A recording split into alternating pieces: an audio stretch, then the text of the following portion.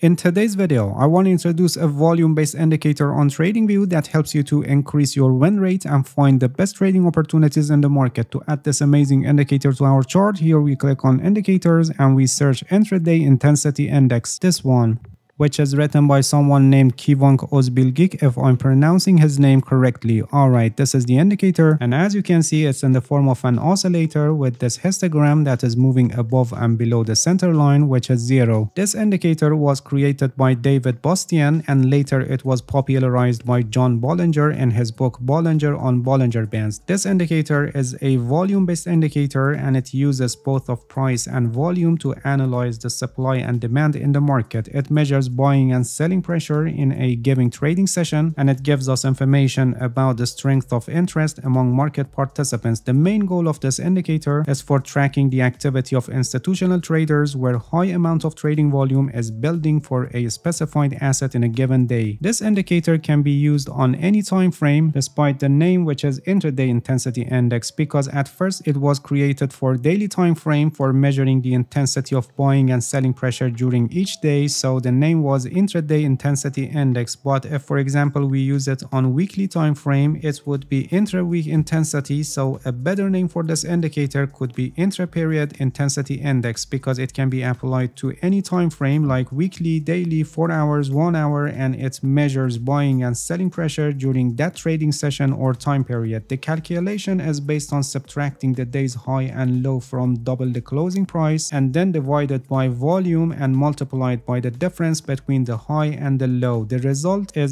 each of these bars that created this histogram. A high value of intraday intensity shows a higher level of buying or selling pressure. In other words, more active and volatile market and low intraday intensity shows less trading activity and a flatter market during that day. Bars that are above zero are in blue color and they show buying pressure and their sizes show different degree of pressure as I just explained. And the bars that are below zero, they show selling pressure and they are in red color with different sizes showing different degree of pressure. From what we see from this histogram, color changing of the histogram can signal us on the changes in the direction of the market. For example, when it turns to blue, it can be a buy signal and when it turns to red, it can be a sell signal. But these color changing also happen in the pullbacks, which basically they don't provide any good trading opportunities. John Bollinger suggested using this indicator as a confirmation tool with Bollinger Bands. Let's add Bollinger Bands to our chart to show you how you can use them in conjunction with each other. The way he described for trading based on these two indicators is like this. When the price is tagging the lower band, we must wait for positive value of intraday intensity index. When we get a positive bar, we enter a long position. You can clearly see that as the price was tagging the lower band with increased buying pressure, this indicator is showing us that the selling pressure was becoming weaker and weaker up to this point where it becomes positive and blue. So here we can enter a long position. And as the price is advancing and tagging the upper band, we wait for a negative bar and it gives us the signal to exit our long position. So when this red bar is formed, we exit our long position and conversely would be for opening and exiting a short position. Please pay attention that the safest option to do this method is taking the signals in the overall direction of the market because this method is still very prone to generate false signals in the pullbacks during trends. You can use use price action analysis for identifying the overall trend or you can also use some indicators like pivot point super trend, this one